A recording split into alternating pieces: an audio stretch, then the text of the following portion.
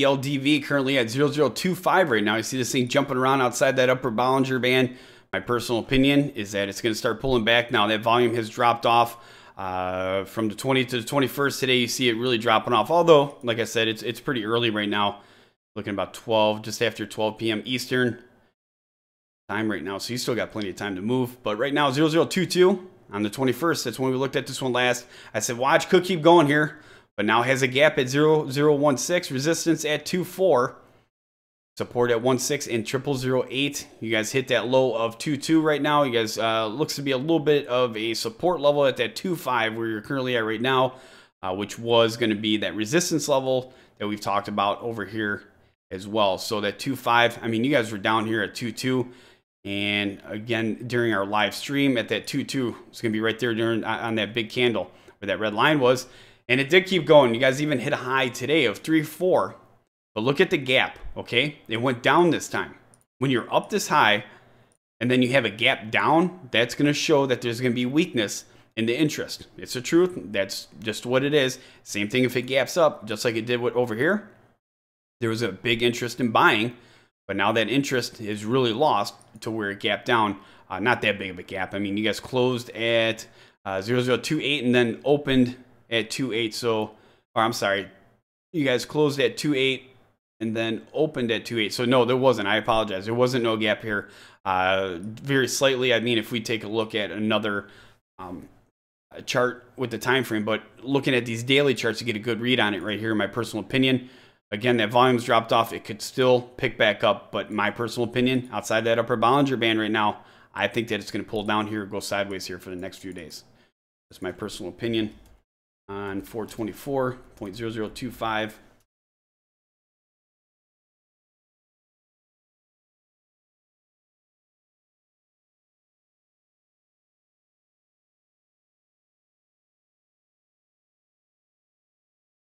That one six and one eight gap, what I'm watching for, guys. Keep that in mind. In my opinion, might go sideways here and fill the gap at one six, one eight.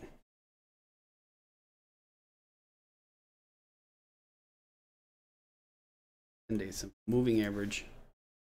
That's going to be down there quite a while so uh, that's going to move up as you resistance levels right now. Two five.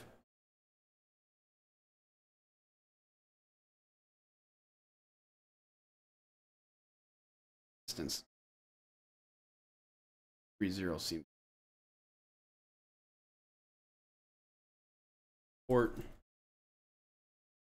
0025. I mean, you're you're teeter tottering on it on it right now.